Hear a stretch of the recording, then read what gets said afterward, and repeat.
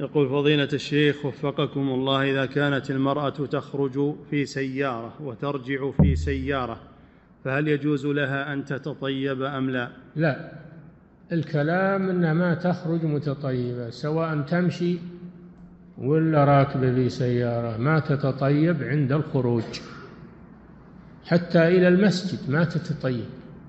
قال صلى الله عليه وسلم لا تمنعوا إماء الله مساجد الله وبيوتهن خير لهن وليخرجن تفلات يعني ليس لهن طيب ولا زينة.